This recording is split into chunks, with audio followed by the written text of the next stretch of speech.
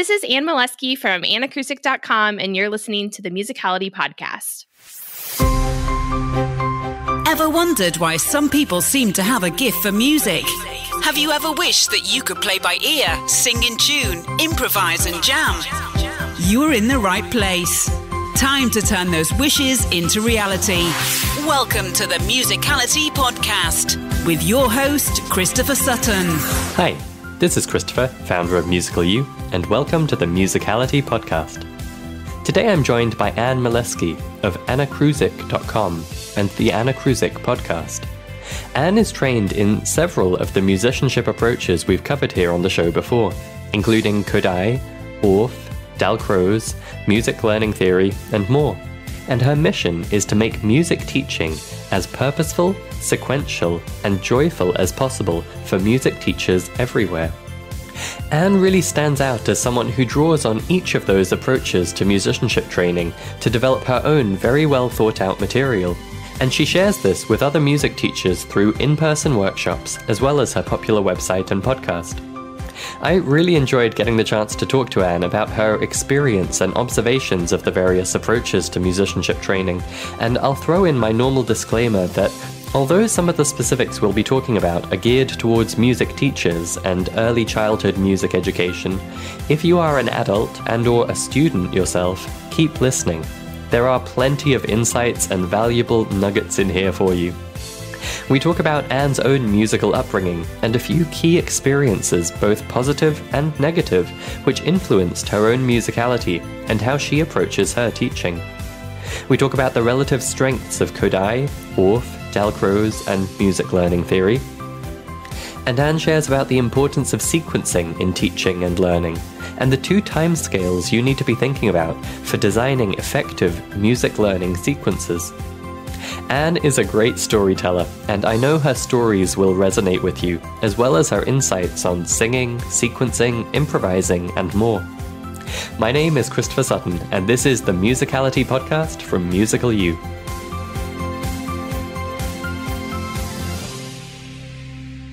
Welcome to the show, Anne. Thank you for joining us today. Yeah, thanks for having me. I'm excited. So, you specialize in early music education, and I would love to hear about your own early music education. Was it so good or so bad that it inspired you to go into this area yourself?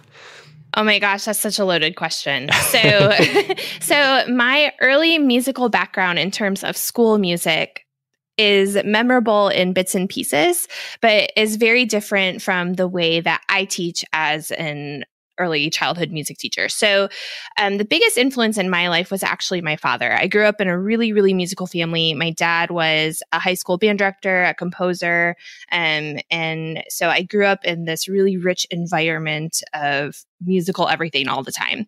Um, and so I grew up as a trumpet player and singing in a university children's choir and taking piano lessons from the time I was four until I graduated high school. And um, I felt really, really moved by music. I felt like that was a huge part of who I was. And then when I went to college, I decided I wanted to do something totally different. And that completely bombed because when I got to college, I just was a total fish out of water. I felt really, really uncomfortable and like I I couldn't find my way because I wasn't doing anything with music. So after my first semester at university, I transferred into the music school at the University of Michigan with my trumpet. And so um, from there, I trained to be a professional trumpet player. It was my goal to be a trumpet player in an orchestra. And moving through undergraduate studies, I decided to go do a master's in trumpet performance. And it was in my master's program that I actually met a wonderful elementary music pedagogue by the name of Julie Scott. And she kind of showed me what elementary music could be because I thought if you were going to be a music teacher, it meant you were going to be a band director. and while I had like lived that life and it was a wonderful life and lots of cool things that my dad got to do and I got to do as a student of his, it wasn't what I wanted to be doing. And so once I got a little bit of a glimpse at how rich elementary music could be and how um, it could impact kids in a lot of different ways outside of just musically. Um, and then having the opportunity to work in some preschools and some early childhood situations, I just really sort of found my footing there. So it was a little bit of a curvy path to get to to being a, a childhood music teacher, but um, I would definitely say that the influence of just growing up in that musical environment and having the experience to be really um, proficient on my instrument sort of paved the way for where we are today. So Interesting. Well, I definitely want to come back in a minute and talk about what she showed you that opened your eyes to what early music education could be and compared with your expectations. But first let's let's go back a little bit because you mentioned, you know, your memories are you, you've got little bits and pieces of what the journey was like for you and you just said it was a bit curvy. So I'd love to ask, you know, what were the other um, memorable phases or moments um, for you developing as a musician before you went down this path of becoming a teacher? You mean growing up, like in my school years? Yeah. Or? What what kind of musician were you, or what was the music learning experience like for you? You know, we've had guests on this podcast who just learned playing in their church gospel band, others who were learning sheet music note by note, some who are very music theory oriented, others who are you know on the jazz improv end of the spectrum. What what was that like for you? What was your music education like? Well, to be very honest with you, it was very formalized in the sense that it was very reading notation driven, I guess. That's not a very clear way to say it, but um, I remember, and my brothers would admit to this too, um, we were all great readers. So we were great sight readers. So, you know, you have a week in between your piano lessons, and then, you know, your piano lessons on Tuesday. So Monday night, you're reading through everything so that you can go into your piano lesson and make it through, right? And of course, the teacher always knows, as they always do. But, um, but I remember kind of relying on that and not being able to play by ear very well at all, to be very honest with you, um, through um, throughout my like high school days. Um, so when I got to college, I um, kind of continued along that trajectory. And it was really reflective in my playing to the point where my undergraduate teacher, there were a couple experiences I remember particularly with this, but my undergraduate teacher um, one day in my lesson said, You can't hear anything that you're playing. And I just, you know, kind of got very quiet and thinking, Yeah, that's definitely true. I'm just pressing buttons and looking at the notes. And um, he's like, So you need to sign up for the jazz lab band. And I just looked at him like he was crazy because I was not, I mean, it, at my university, it was very much, um, there are a couple people who did both jazz and classical, but it was very direct road. Like if you were in this studio, you were going to be a classical trumpet player in an orchestra or a military band or something like that. And if you were in this studio, then you were a jazz player and the two very rarely crossed because the the teacher for the classical studio didn't really dabble in jazz at all um, unless it was in an orchestral context but that's a different story. Anyway so he had me sign up for the lab band and i remember there was one day that the and the and the director knew that i was i was anne in this box that had not played jazz ever in her entire life. And so he just went around the room one day to improvise and it got to me and i literally could not play anything I literally like I was just like I can't do this. Like I I was like pass, like somebody else can go now. And he just kind of looked at me and then moved on and that was the end of it. But you know, obviously that's something that stuck with me. It's been over what 15 years now, longer than that since that happened and um you know that looking back that's that's really kind of sad in a way because I should have I should have tried something, but I was so in my head and so about making things right that I there was no way I was even going to try. And and you know, playing by ear is really having um, a good idea of the context of of the musical situation that you're in and and being able to sort of process what you want something to sound like before it it comes out, right? That's how I think about it. And for me, even practicing excerpts, practicing orchestral excerpts, practicing more of these well known classical things, there are times that I would have a really good aural picture of what something should sound like before I'd play, but then there are other times that I didn't. And um, that's something that my master's degree teacher told me. I was playing a really complicated almost atonal etude in one of my lessons and he kind of pulled the same thing on me. He's like, You have no idea what you're playing. And I was just like, Yeah, that's true. He's like, Go to the practice room, sit at the piano, and you need to be able to sing this before you can play it. And I did that. And then I came in and he was like, okay now we're talking like here's the next one like now we can check that off so so i hope that answers your question i i think that um for me improvisation is something that still does not come naturally on my instrument um, because I honestly think that that is an extra step. Um, it's something that now, after doing lots of elementary music pedagogy training and um, thinking about how to teach it to kids, comes much more naturally to me in terms of singing. And I am not a classically trained singer. I'm trained to the standpoint that I teach children to sing, but I mean, I would never go audition for an opera or something. Um, but but that's more natural because of the way that your brain processes music and being able to sing something is very different than being able to process something and then put it on an instrument because there's an extra step there. So very good. I, I'm going to add that to the list of things to circle back to in a moment. Um, that okay. singing improvisation.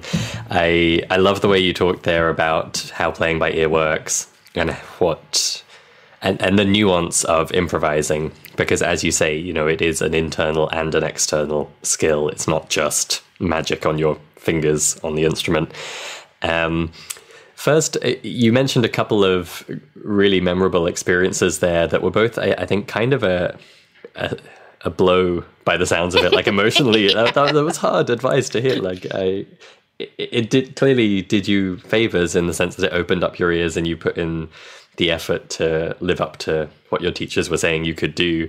But at the same time that's not the most encouraging. But you clearly you had a great trajectory through music and into becoming a teacher. So were there any kind of um, counterbalancing experiences that encouraged you that yes you know you were becoming a good musician you were someone who was cut out for this yeah, absolutely. I think that first I want to address what you said. So, yes, they were definitely blows, but bear in mind that I was training for a situation where if you don't go into an orchestral audition and play perfect, you're not even considered. I mean, it's not just playing, you know what I mean? It's not just playing the right notes, playing the right rhythms.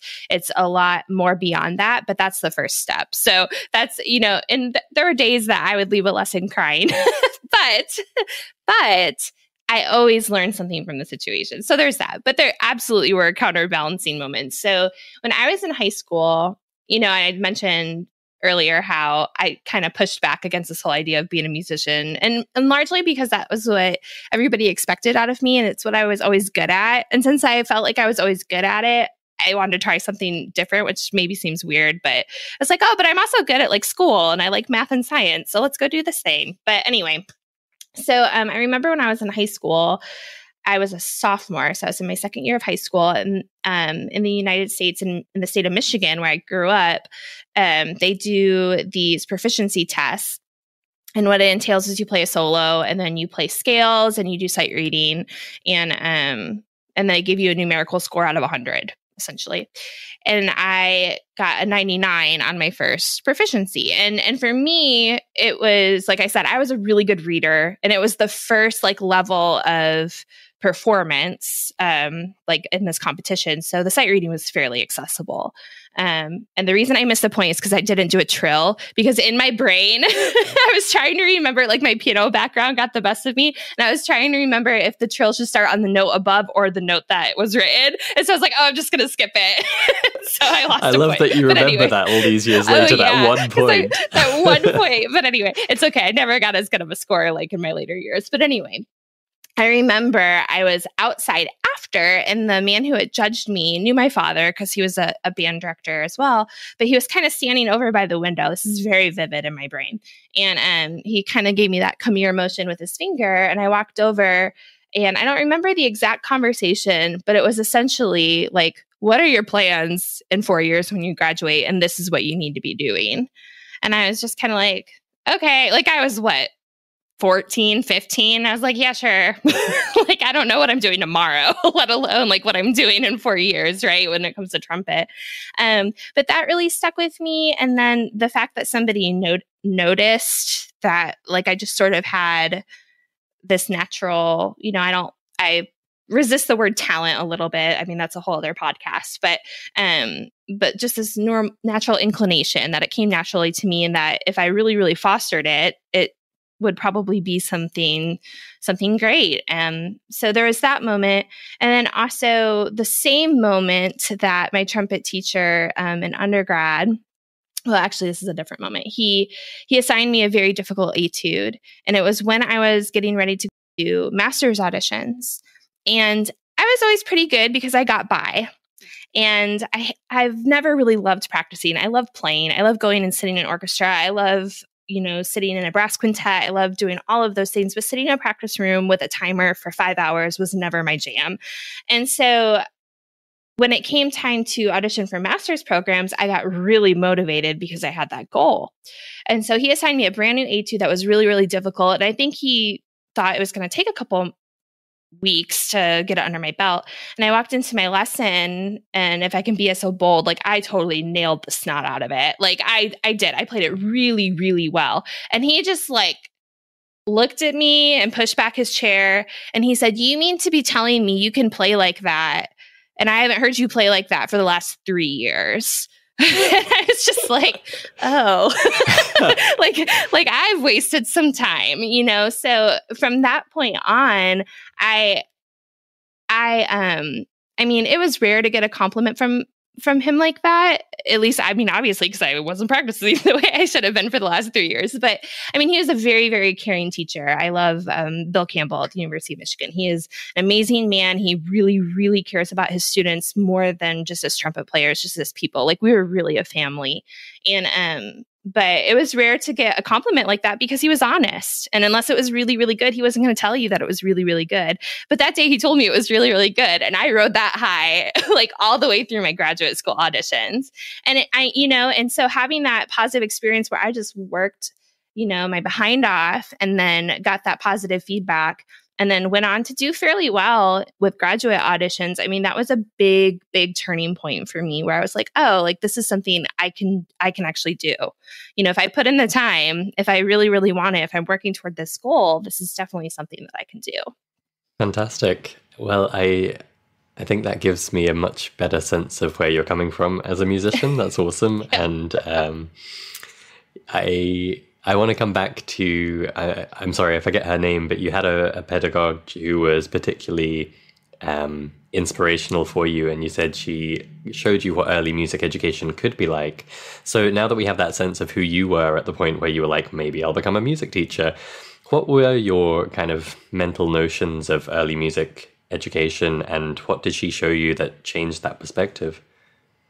Yeah, so um, I'd be so interested to talk to you at a later date about what like the early music um, education is is sort of like outside of the United States because I'm just very ignorant when it comes to that, just to be really honest. But for um, for me and for a lot of people sort of my age, when you talk to somebody about their elementary music class, they remember the musicals they put on and playing the recorder. Those are like the two things that everybody remembers. And to me, I might not make friends by saying this. Those are my two least favorite things about teaching elementary music. Like I think that recorder can be done really, really beautifully, but at the same time, like it's just not like my most favorite thing. Um, but anyway, so that's what most people remember. And so I remember that too. I remember, you know, going to the lunchroom because that's the only place we had for a music room and in my elementary school and sitting on the benches and we would either be playing BAG on the recorder we would be singing along to the pre-recorded music for the musical or we would be um, singing out of the textbooks and you know the music textbooks that big companies here like pearson puts out or pearson i might be misspeaking like silver and making music i don't maybe those are owned by pearson i don't know. Anyway so i remember also like reading the textbooks um, and singing along and just kind of you know following the ups and downs and all that kind of stuff. And for me you know kind of doing the monkey see monkey do whatever, you know, singing, singing, first of all, let's say that singing, first of all, no matter how you're doing it, I think kids love to sing. And they love to sing in a community setting. So if you're in a, you know, when you get on a bus, what do kids start doing? They start singing songs. So on a field trip or whatever else. So I think that's just part of what they do and on the playground and all that good stuff. However, I think that in a music teaching environment, there are things we can do beyond sitting and singing from a textbook or singing along with pre-recorded music or um, or just kind of playing fingerings on a recorder instead of knowing what the notes are. And so that was my image of elementary music. Like that's not what sticks out in my brain about what formed me as a musician. I think about the children's chorus experiences that I had where we were treated like musicians real musicians who needed to practice their music and we went on tour and we did recordings and i mean that's like a very a very special experience. Not everybody would have something like that, but that really kind of gave me an idea of what what um what you could do with kids. I mean, I was in 5th grade when I was in that ensemble and got to do those sorts of things. So anyway, so my picture of elementary music was very very limited, I guess. And when I went to um, Southern Methodist University, I met Julie Scott. And I was actually, even though I was a trumpet player, I was randomly assigned to the music ed department for my teaching assistantship. like to help them with things. And at that time, Dr. Scott was working on her doctorate. She was working on her dissertation. So she had finished all her doctoral coursework and she was back to teach and still working on her dissertation. And her dissertation was all about Orff Schulwerk and the role of singing within Orff Schulwerk. And so through that, I was I was talking to her about all of these different people she had interviewed in the field and and their take on what elementary music is like. And then I was also you know helping sift through different choral octavo octavos excuse me that were unison or two part so things that I sang when I was in children's choir and remembering all of these things and just it was kind of this wash of of stuff that just made me think like oh this is so fun. And in the meantime I had there was an undergraduate in the trumpet studio who was an ed major and she was in her methods class. So she would, we'd be sitting at lunch and she'd be doing her homework. And I'm like, oh, that game looks like so much fun and you're using it to teach this. So I just like sort of had my eyes wide opened for me, I guess, um, to realize that elementary music is not just sitting and singing you know which i think which is so crazy to hear myself say that because i mean how how many years have i been doing this? And up until the point that i really started doing it that's what i thought it was. Um, and i think that that is a very common misconception because a really really great elementary music teacher is somebody who is not only helping to build skills for children in terms of literacy skills and all of that kind of stuff, but also somebody who is taking the time to really, really build um, community and build self efficacy, positive self efficacy, um, and all of those things when it comes to doing music, but also applying that outside of the music classroom. And very little of that has anything to do with sitting and reading music. a lot of it has to do with everything else, right?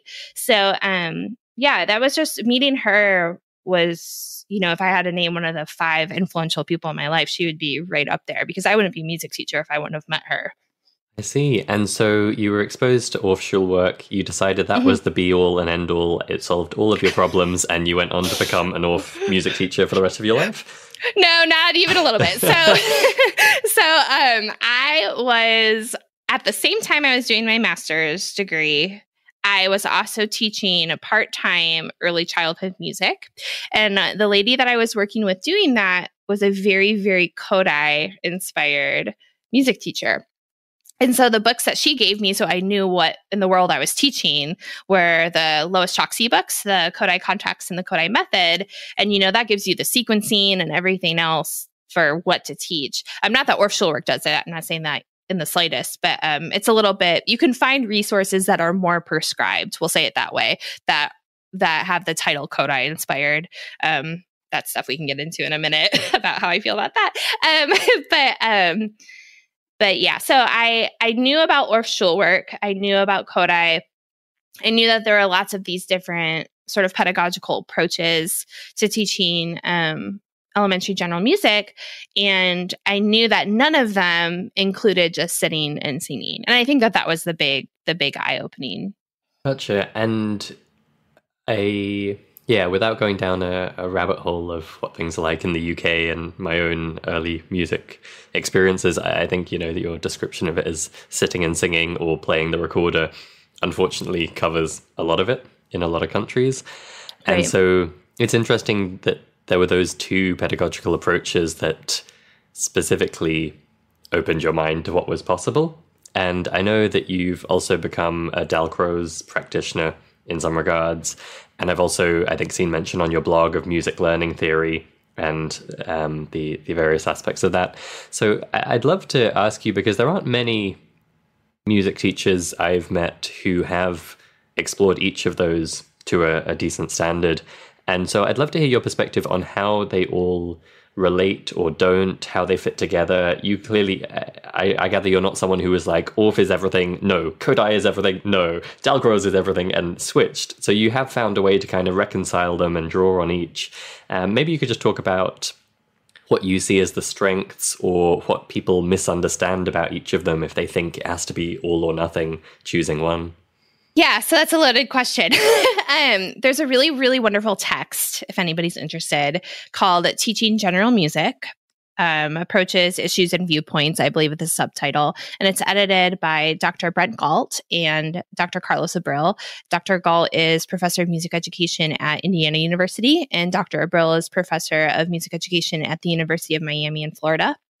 And they are both wonderful, wonderful pedagogues, and they edited this book and brought together sort of their dream team um, when it comes to all of the different things that you need to think about and all of the different things that you need to consider when it comes to teaching general music.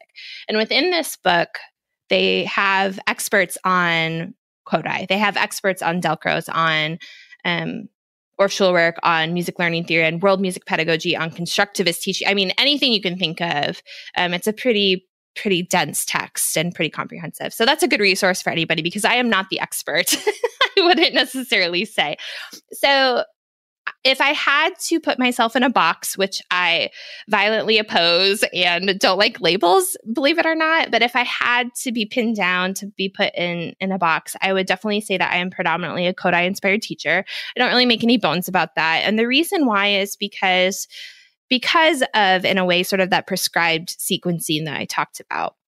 And prescribed isn't the right word. However, when you first begin to get into Kodály inspired teaching or you get into getting Kodály certified, at least in the United States, um, there is a very, very good example of what a sequence would look like. And some people take that to be the prescription, and other people say, no, this is the example. Here is the essence of what it is. And now I can take it and apply it to my situation, which is the whole point. so that's a big misconception that it is prescribed um, because a lot of the things that you see in textbooks or in training courses is that example because when people go to training courses or get textbooks, they want to see something that they can immediately apply.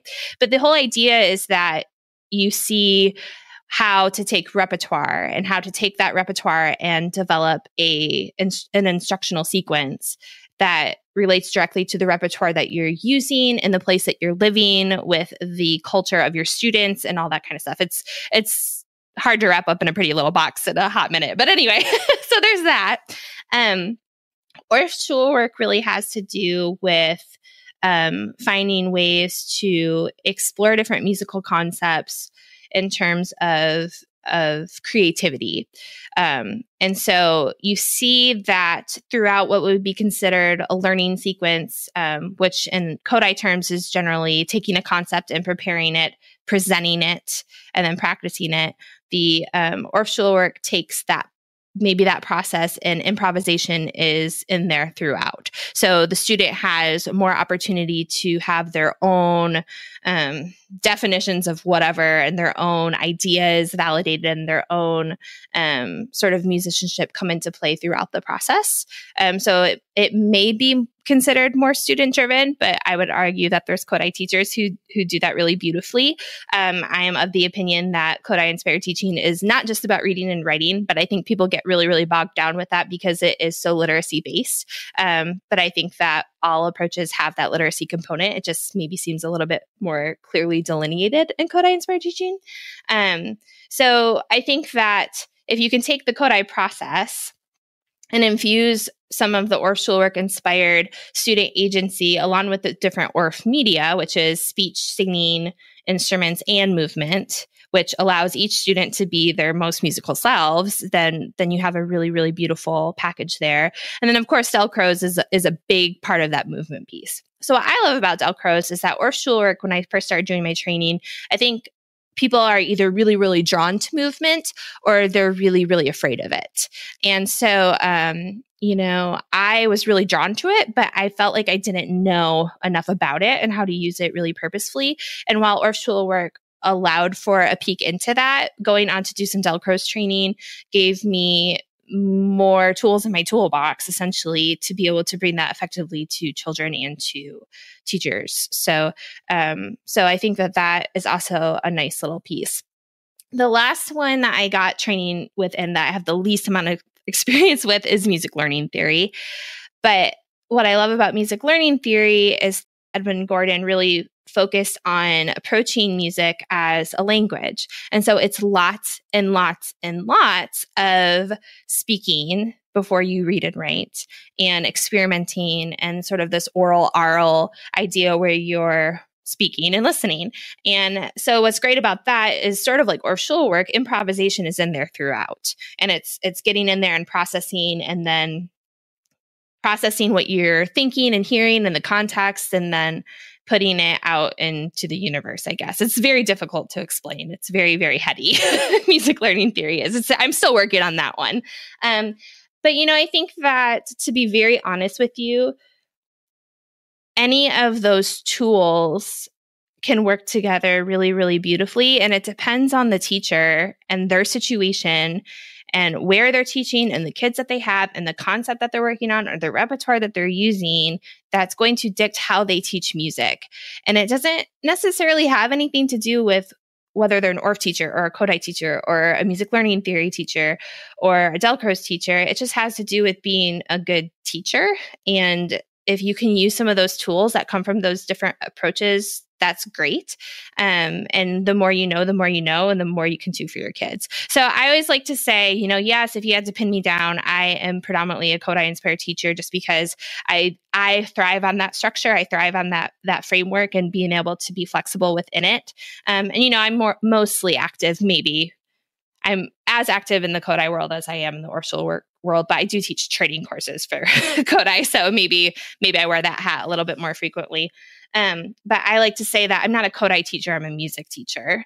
So, I mean, I don't teach Kodály to kids, I teach music to kids. So, that's a very long winded explanation. it was a fantastic explanation. Thank you. And yeah. um, depending on how familiar our listeners are already with each of those, I know they will have drawn a lot from your insights there. I did want to pick up on a couple of things you mentioned. Um, one was if you wouldn't mind just briefly explaining the Kodály principle of preparing as the first step in a process of learning a new concept. Uh, I think that's something that our listeners might not have come across before. Yeah, so if you think about preparation, um, present, and practice, those are sort of the three the three P's. Um, you know, people have variants of it, and they add an assessment at the end, or they have different. You know, I sort of have my own terminology that is outside of the Kodály framework. But if you're talking specifically about a Kodály inspired teacher that you find in sort of that realm of the world, prepare present practice prepare is the whole idea of singing a song playing a game doing some sort of you know iconic representation if you're talking more um, learning theory type stuff um, so that students can orally visually and kinesthetically understand a concept before they're asked to name it so the preparation phase is really sort of sort of the exploration phase that's the term that i like to use because you're having them having them being students work within the context of a concept without really knowing what it is in terms of a literacy component. So for me, when you get to the present moment, you know, the idea is that the teacher is presenting this to the students. Well, in my opinion, the students have already learned it. You're just naming it for them. So, in the process of presenting or naming something, they get to see the formal terminology, the formal notation, and then they'll probably practice reading and writing it. And then when you go on to the practice phase, that's when they can really apply all of that exploration and all of that um, the literacy components to new experiences. So practicing creating, you know, the higher level practice activities like improv and composition, all of that type of stuff. Cool. So you and I were talking briefly before we hit record about you know the the differences between children learning and adults learning. And I think this is a nice case because when you're teaching children music, I think you get to start with a blank slate to a large extent. So you get to start in that um, prepare phase. And what we find when people come to us at Musical U, they often think they're starting from scratch. But essentially, we have to explain to them no, you've already done all of that preparation. You know, you already know what a 145 chord progression sounds like, for example. And so, actually, our work is really in the kind of presenting and practicing stages of mastering the skills and really knowing mentally what's going on. But a lot of the internal work has been done. So, I always find it really interesting to look at teachers such as yourself and how you design things because you're starting from the very beginning, but you're working through each of those phases. One thing that I wanted to pick up on too was you mentioned sequencing when you were talking about the different approaches. And I know that's a, a, particular strength of yours as a curriculum designer. I wonder if you could just explain what is sequencing to a music teacher and where does this come up? Yeah, so I think about it, there's sort of two different ones. There's a macro sequence sequence and a micro sequence. So macro sequencing has to do with what you're going to teach kids from the moment they come in your classroom at the beginning of the year through the end of the year, through the end of their time with you, which for me, I see my kids from kindergarten to fifth grade. And so the idea of how are you going to build com- concepts from the simple to the complex. So when kids come to me in kindergarten, the very first thing they have to do is sing. You know, they have to learn to be musical if they haven't grown up in a family um, where they sing songs or play games or that type of thing.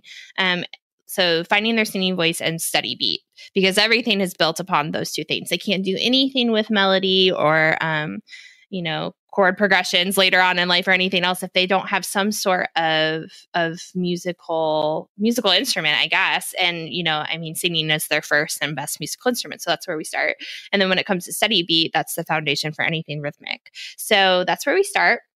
And then from there you build upon whatever whatever will be the next smallest scaffold, I guess. So the next the next building block in a sequence. So for me, I go from steady beat to faster and slower, right? Because there's fast, fast steady beat and a slow steady beat and all that kind of stuff. And it goes on and on and on and on, building from the simple to the complex. So that's the idea of a macro sequence.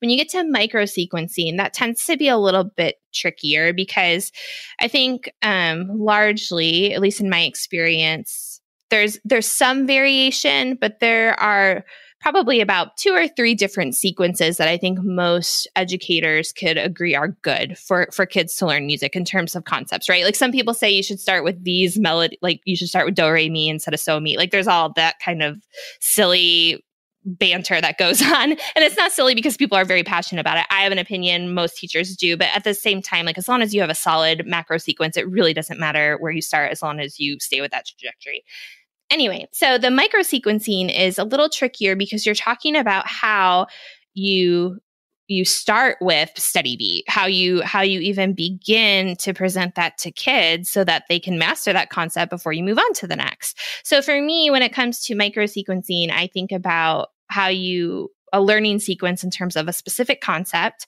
and how i'm going to as a teacher gather resources. So that means like okay what songs what games what activities can i bring to my students to help them be their most musical self? So it might be a singing game it might also be an instrument activity it might also be a dance or a movement activity. You know whatever i think will help um, as many students as possible sort of get into the next phase which is exploration so that's the whole idea of the oral visual kinesthetic prep right? The, the whole idea of letting them experience and and sort of speak the musical language before we get to the discovery moment which is that literacy component. So saying okay we did all this stuff with this thing. Now here's what you were doing. Here here is the thing that you're actually exploring. And then moving on to um, extension which is that practice phase. So they get to take all of the experience that you've given them right? So you've built sort of that schema or that that knowledge context as well as the literacy components, combining the two to apply to a new context. And then from there, whatever they're able to extend or whatever they're able to create with, you turn into a sharing moment because music is meant to be shared. So whether it's within the context of a class or with parents or the community, um, and then taking some time to reflect on that experience in terms of a lot of different things, but but also how it pertained to the actual concept that you were sequencing through. Very cool. I, I think that's a, a, super valuable mental model for people to have as they're exploring music. I think a, a lot of us instinctively think about that macro sequencing of taking a course or figuring out what I'm going to work on this year. But I think very few of us really pause to wonder about the micro sequencing and actually how am I approaching this thing and what is a logical progression. Uh, I wonder if we could just take a, an example and briefly talk through what that would look like, if there's a particular skill or topic where you could explain what each of those stages might involve. Yeah, sure. So, um, just really quickly, if I think about just taking, we call it Ta and TT. So, if you're taking quarter note into eighth notes in kindergarten, right, the end of kindergarten for me. Um, so maybe I have a game, a singing game where they're um, they're singing a song with those two rhythms. So, like Apple Tree is the classic example around here. So, you know, Apple Tree, Apple Tree, over and over. You know, it's kind of that t ta rhythm. Um, and they play a game with it. Then maybe they'll take that same song, and after they play the game, they'll put the song in their head, but they'll play the rhythm on rhythm sticks. So they'll play the way the words go. Right. That's how we present it to little kids because they're not thinking about rhythm necessarily. And so it'll just be and then so on and so forth. Um, and then maybe they'll step that in their feet. So now they've had the aural, oh, they'll step it in their feet. Okay. So they'll go um, tiptoe walk, tiptoe walk. And then maybe we'll put um, some icons on the board. So that's like sort of the immediate preparation to to that literacy component. So there'll be two apples for apple and then one apple for tree and then two apples for apple and then one apple for tree. So that kind of sets them up orally, visually, and kinesthetically, right? So they've had all of those preps as like a super fast rundown of all of those preps um, going into, well, okay, now we have these apples on the board. Here's what musicians call this. And you're real musician. So here's our TT, which is two eighth notes, and here's our Ta. And then they go on to read it. Um, so that's, I mean, that's all that the discovery or the present moment really is. It's really just saying, here's what you were doing, here's what it's called, here's what it looks like, and then you instantly move on to the practice phase. I mean, it's just super duper quick if you've built that context. Um, so then moving on, um, uh, you can have them take apple and tree because that went over and over and over again and have them read different patterns right and then translate translate that into TT and Ta, and then maybe they start making their own patterns. Then maybe they make a four beat pattern, or maybe they make an eight beat pattern. Then maybe they share it with a friend and they put their two patterns together to make a longer piece. Um, so then there's your extension. And then they go on to, they play that um, those patterns that they combine together for the class or maybe that turns into something that you record and put on uh, like a class blog or something and then so now they've shared it and they have the opportunity to watch it back and then reflect about what they did and make decisions about whether they liked it whether they didn't like it. Maybe they could notate it if it wasn't notated before and i mean the opportunities are endless you know so um but but the whole idea of just giving them like i said as many opportunities as possible to explore something orally visually and kinesthetically um, and and it can be as basic as what I just said, you know, putting it in their feet. Um, you know, obviously, as kids get older, there's ways to incorporate more creative movement and maybe not so so overt, like put the TT on your feet. Um, but but finding ways to do it orally, visually, kinesthetic, giving them that literacy component, and then instantly moving on to the opportunity where they can be the music makers, where you're not necessarily just spoon feeding them. Wonderful. Thank you. That was a, a perfect illustration, I think, of why that kind of framework is valuable. Because if you said to an average music teacher, teach them quarter notes and eighth notes, that is, you know, there's a lot to think through. Whereas I think when you have that step by step process in mind, it's a lot easier to be like, oh, we could do this here and that there and, and build it up bit by bit. That's one of the struggles too, is I think, especially for new teachers, if you're not thinking necessarily this specifically and this intentionally and this sequentially about about how you're going to approach a concept it's really easy to just throw up a quarter note and two eighth notes and say this is what this is called now let's do it but if you haven't if you haven't given kids or adults or anybody an opportunity to sort of play with something first, um, I mean, that's they can turn to turn out to be good readers, but they won't be able to play by ear. Kind of like.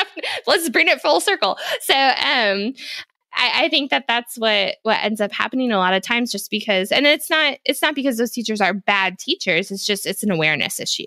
And so i think if you can find as many ways as possible to approach music like a language in the sense that you are giving you know my one year old she's babbling like crazy right now. She knows exactly what she's saying. I haven't got a clue because she hasn't gotten that that formal that formal thing happening yet until she sees the cat and she goes kitty right so i I I think that the more opportunities you give them to play and babble and experience things before you put it in a box, and then also once you put it in that box, giving them the opportunity to make it their own. I think it's really, really important.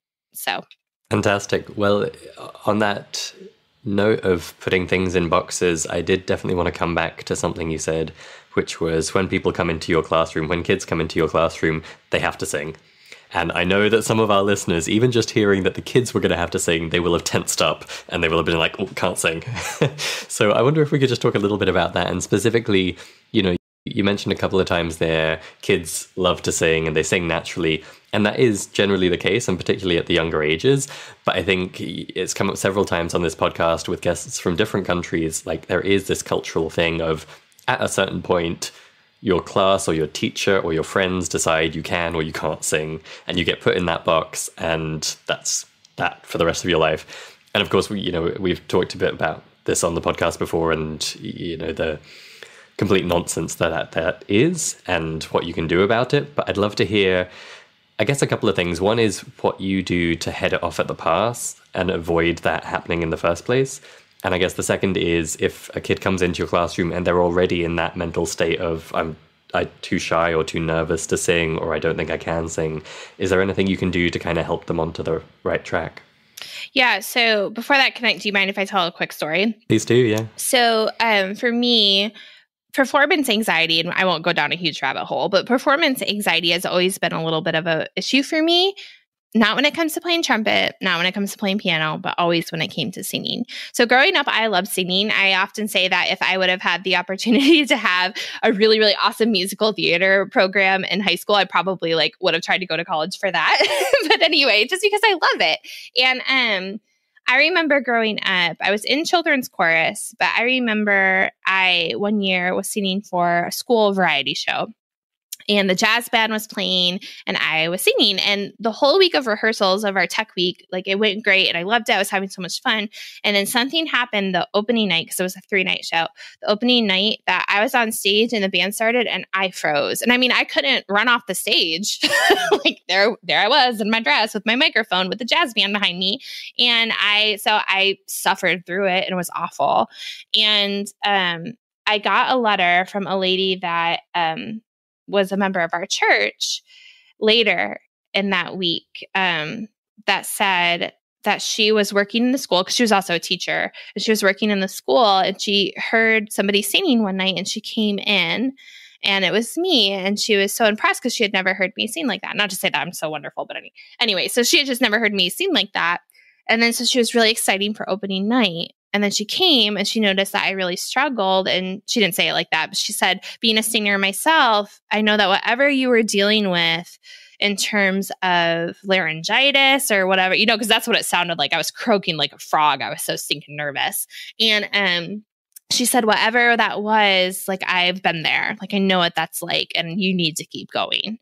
And so, gosh, talking to you today, Chris, I like feel like I need to write all these moments down that have throughout the last several years because there's some good stuff in there. But anyway, um, but she, um, but she wrote me that letter, and I mean, that's obviously stuck with me as well. And so the thing is, is that something my trumpet teacher told me to. And I'm just, I'm speaking of this because if there are people who are listening and who are nervous about singing or say they can't sing, I, I violently reject that because everybody can sing. We're all born with a voice. It's just that we have allowed our adult psyche to get into our head about singing.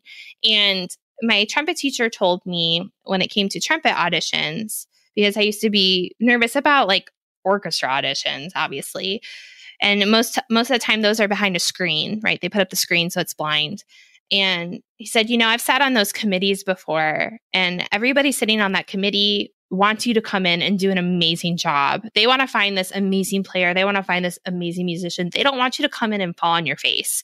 And that's something that I've really tried to sort of keep in the forefront of my brain with everything I do, whether it has to do with music or not. Like people are rooting for you. I think that, like, if there are people who are just sitting there waiting for you to fail, like, they're they aren't people that you even want in your universe anyway and there's something wrong there. So um, i think that that you have to remember that in terms of singing. So moving past that to get to the question that you actually asked me um, when kids come into the classroom and they are five years old very very rarely are they um, coming in with the idea that they can't sing. And to be quite honest with you, I don't give them the opportunity to even think about it because the way that I set up my classroom and the way that I pace things is in such a way where, first of all, I'm always singing. And second of all, when it's their turn to sing, it's it's not a okay, Johnny, it is your turn now. Would you like to sing or would you not like to sing? It's not like that. It's like I echo sing to them like hello Johnny and then I point to them and if they don't respond, I move on.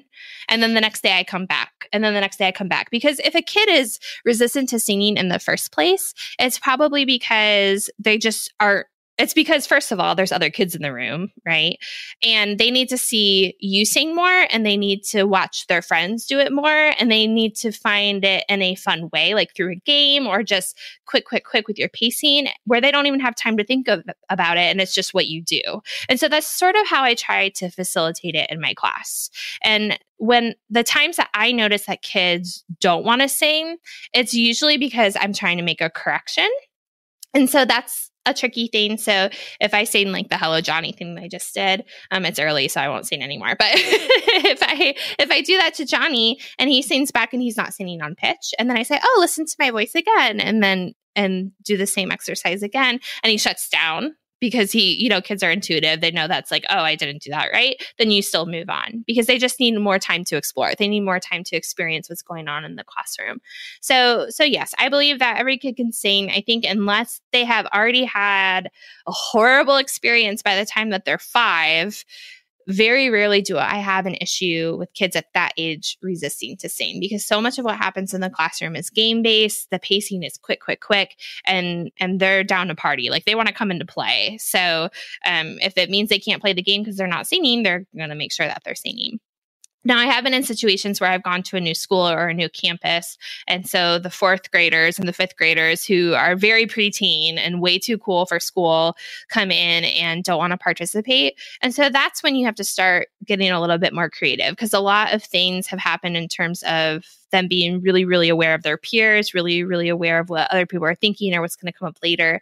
And so trying to find ways to to bring singing out of kids at that age is a little more difficult. And a lot of times what I do is I either use an activity that they want to do as a carrot that they're more comfortable because like older kids are more comfortable with instruments right? So a lot of times what i'll say is like okay we're going to move to the instruments but first we have to learn this song. And a lot of times that that will bring it out of them. So it's just sort of finding ways to to make it a regular part of what you do. If you're in a music teacher um, situation if you are an adult musician listening today and singing is just like I can't even think about doing that. It's just too much for me. I think, like anything else, it gets easier the more that you do it. And so, you know, I'm a big proponent of stepping outside of your comfort zone. And, you know, I care a lot about what people think because I'm a people pleaser. But when it comes to trying something new, I don't care what people think because I'm going to try something new to better myself. And it might work, it might not work. And if it doesn't work, I'm going to learn from the experience. So, fantastic. I. I think you've painted a great picture during this conversation of your approach to music education. And I think it will have given listeners a real sense of how rich and creative and enjoyable it can be in terms of, you know, singing first, understanding what you're doing, not just pressing buttons robotically, using games and activities and, and having fun with it, exploring before you're worrying about transcribing, you know?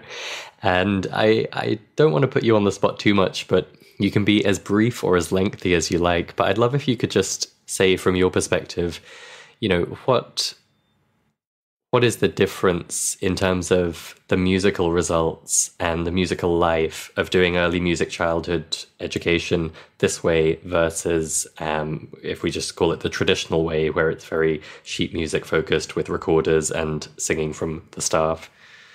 Yeah kind of the old guard way right? Um and I don't, you know, to say this. so growing up, my music teacher, if for some reason she's she's out there listening, I have, you know, obviously it had some sort of impact on me because I remembered it. And everybody, you know, when people think about like, oh, I played the recorder, some people are like, oh, I love that recorder. I took it every day and I practiced it. You know, I mean, it was still a positive experience. But I think that that it's important to build those positive experiences and and you know i i work and have worked in places where coming to school is is sort of an escape for some kids it's maybe nerve wracking for some kids i mean every every kid's different and i really like to think about the music room as a place where everybody can come in and just be a member of the community and really really love what they're doing like yes they're learning but they're learning through play like children should um you know they can't just just sit and sit and read and sit and do this, that, or the other thing. And the music room, it's my hope that most places the music room is a place where they come in and they can just feel like they belong and they feel like they really are musicians and they're doing things where they have a voice and where they can work with other people and have a voice. I also think that if you approach music education from the standpoint that I'm going to give kids the opportunity to explore and be their most musical selves and find as many ways as possible to sort of uncover that and tap into that for kids, that that not only gives them an appreciation for music, but hopefully gives them sort of that higher self-efficacy that higher self um, self-image for for other things as well. Like oh i tried this thing and it went really well and i really liked it. It makes me want to do more of this thing. So maybe that'll happen in this part of my life too right? And and i mean maybe that sounds a little too is altruistic the word? But you know everybody says like music makes everybody better. And i think that you know that it really does have that power because because of what of the way that you approach it in the community that you build in a classroom. And, you know, music teachers are an interesting breed because music teachers become I like to say that music teachers become music teachers not because they want to be teachers necessarily, but because they're musicians who want to bring something that's tapped into their lives to other people. Um, you know, so we're certainly not in it for the mad cash flow. a lot of the time. So, I mean, not to say you can't make a living. I mean, that's a different podcast too. But anyway, so um, but but I think that that's why we're music teachers is something that, you know, musicians are an interesting breed too, because what they do is often their hobby, right? So like it really melds those two worlds. And um, but what is the saying? Like, if you love what you do, you'll never work a day in your life or whatever that is. And that's really and truly what I feel. I'm going off the rails with your question, but I think that it's important to um to build those those communities and to and to really give kids the opportunity to just come in and be and to create and and just have the opportunity to be musicians instead of be parrots i guess to really put it bluntly which i think can can unfortunately be a little bit of a trap sometimes depending on the approach. Absolutely. Wonderful. Well i think having heard you speak today, our listeners won't be shocked to hear that the tagline of your website is purposeful, sequential, joyful. I wonder if you could just tell us a bit about those three words, why you chose them, and what people can find on Anacrusic.com and in the Anacrusic podcast. Oh yeah. So so the whole reason that I came up with that was just because that those are sort of the the three things that I try to infuse in everything that I do. So the whole idea is that first of all, I don't see my kids very often, um, and so a lot of times I um, I want to make sure that everything that I'm doing in my classroom is really, really intentional. So if I only see my kids twice a week for 30 minutes, or you only have a music lesson once a week for 30 minutes, right? Like you don't want to waste a second of that. And that's why I mentioned like my pacing is always, um, even my transition from one activity to another has a really distinctive purpose. And so in order to find that purpose, there has to be a thoughtful sequence. So like what I was talking about with the micro and macro sequencing. Um, um, that helps sort of streamline or align whatever my goals are for a classroom or a workshop or anything like that. And then obviously it needs to be joyful. I mean, I don't want I don't want teachers that I'm working with or kids that I'm working with to come in and feel like it is such a drag. It's the the the last thing they want to be doing. I want it to be the best part of their day. And, you know, whether I'm working with teachers or I'm working with kids, you know, I greet them at the door. I say, I'm so happy that you're here. I mean, all of that is really, really important. So I always say, you know, find the purpose, find the purpose, be thoughtful with the sequence and choose joy. Because I think all three of those things are really sort of in in your control. Like my husband likes to say, you are in charge of your own attitude. and I, I think that that's really true. And you're also in charge of how you want your classroom to sort of unfold. Um, and so, and so being purposeful and sequential and joyful is sort of the decision that I've made about how I want everything that I, I do to to sort of work. And so, you know, I have um, my website and my podcast and my blog and some of the resources that I do are really intended for um, music teachers who are in a classroom setting. Um, and I work with teachers regularly with workshops, you know, here across the US. Um, and then I do teach some summer courses as well. But I am also always working with kids. So I work with the um, area youth chorus here in my town and um, a lot of the resources and things that I talk about on the podcast or on my blog stems from my experience with those kiddos. So Terrific. Well, I, I've said it before on the show, but I'll say it again. Some of the best stuff online for learning music is where music teachers are talking to music teachers. So even if you yourself as a listener are not a music teacher, do definitely check out Anacrusic.com and see what might be there that could help you in your own music learning journey. And I'm sure you're feeling inspired after listening to Anne today to, to find out more about her thoughts on these various topics. All that remains is to say a big thank you, Anne. It's been such a pleasure talking to you, and um, thank you for sharing so generously both of your own story and your expertise. It's been a pleasure speaking with you. Thanks so much. Really enjoyed it. The Musicality Podcast is brought to you by Musical U. Learn more at musical-u.com. One thing that's immediately clear if you visit Anne's website, anacrusic.com, or you listen to her podcast, is that she is passionate about making music learning enjoyable and effective. She's very thoughtful about it, but with the aim of focusing on the true joyful, creative spirit of music making. I think that's something special, and it came across throughout our conversation.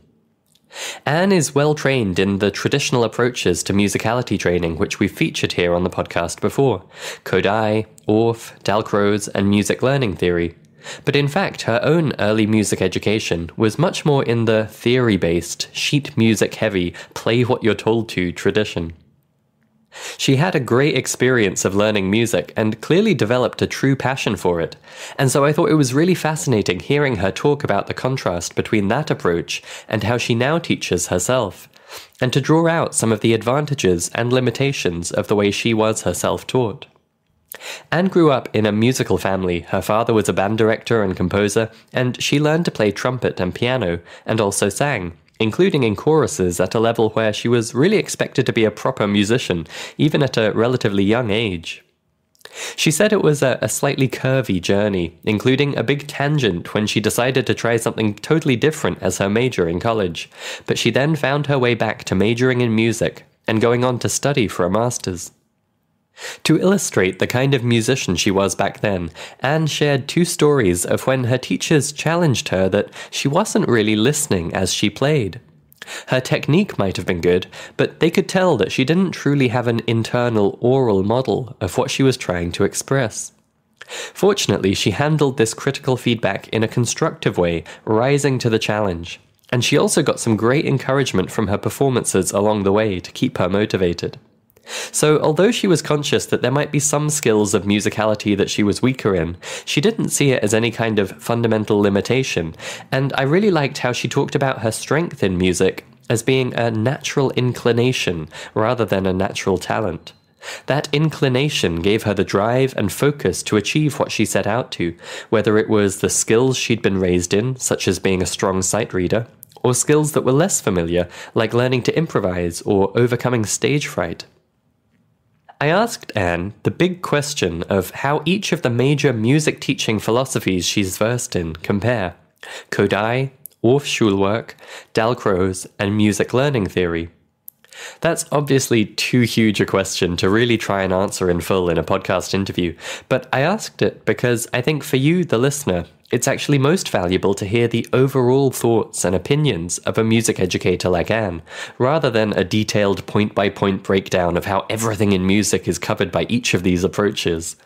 So I hope you found it as interesting as I did to hear her talk through her experience and observations about each of them.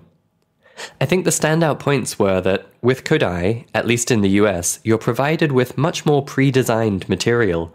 There are plenty of examples and guidance on how to introduce things step by step.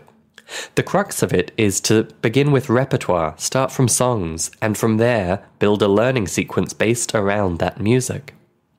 Orff Schulwerk, by comparison, is more heavily focused on creativity and how you can learn musical concepts through improvisation or other creative activities. She said Kodály is often seen as weighted towards reading and writing, but that's really up to the teacher, and it's perhaps just because the literacy material has been developed and is available ready made for teachers to a greater extent.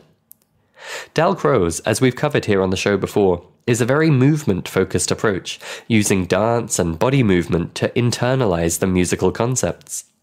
Anne noted that this is something which can be polarizing. Some people love it immediately, while others are very nervous of that kind of expressive movement.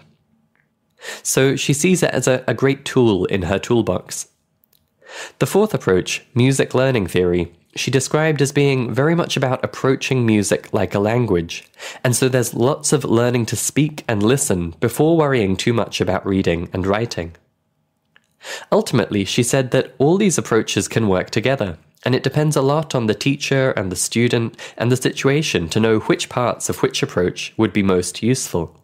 The more you as a teacher know, she said, the more you can do for your students. I asked Anne to explain the Kodály sequence of three Ps when teaching a new concept. Preparing, where you have musical experiences which feature that concept. Then presenting, where you're presented with the name to attach to that concept. And then practicing, where you really explore the concept to master it and connect it with new musical experiences. Sequencing is a big strength of Anne's, and it was a real pleasure to hear her talk through the various stages she'd be thinking about when teaching a new concept, and illustrate that for the case of teaching quarter and eighth note rhythms. As she pointed out, some traditional approaches would begin with the presenting and then have the student try to connect that to some musical examples. It's a very intellectual and quite dry approach. But it can instead be a multi stage process, which I think her description demonstrated can be truly musical from start to finish. I'd encourage you to think about this in your own music learning. Anne talked about macro sequencing and micro sequencing, and I think adult self guided learners, we tend to think about the macro but not the micro meaning we think about what course to take or what big skill we want to learn, but we probably don't spend enough time thinking about breaking that down and what each practice session should look like, or whether there are well sequenced lessons out there designed by a pro which could actually accelerate our learning and make it more fun. We talked about singing, a central skill both in the Kodály approach and early music education in general. This came up when talking about playing by ear and improvising too, when Anne shared the feedback she got from a teacher about how she wasn't hearing what she played. She said how singing can be the intermediate step before trying to do those things on an instrument, because it's a much more direct way for us to express our musical ideas, and so it can be the way we come to understand and explore and experiment. I loved the way she put her attitude to people thinking they can't sing, that she violently rejects it. And as you'll know if you're a long-time listener to this show, that's how I feel myself. And it was really interesting to hear how she approaches things with her five year olds, as well as with the teenagers who maybe come to it with more psychological baggage around singing. Anne shared the story of having a bad experience with stage fright as a singer early on. But fortunately, some encouraging words from a stranger helped her to continue on rather than being put off. Hearing Anne talk about making singing a natural part of music learning from the outset and throughout, making it a game, keeping things moving so fast that singing just happens without too much conscious concern, It made me think about how, although as adults we aren't a blank slate in the same way that maybe the five year olds are, we do have a big advantage over them, and over the teenagers too. We at this stage have enough self awareness that we can recognize the part of our brain that's got hang ups about singing and creates negative mental chatter, and we can consciously actively choose to do it anyway.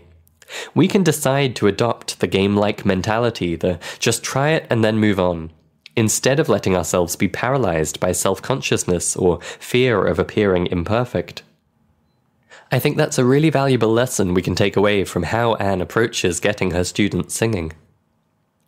Speaking of perfection and being self conscious, a recurring theme in our conversation was the importance of feedback, such as in the classroom with young children when they need to be corrected on something, and also in Anne's own musical journey.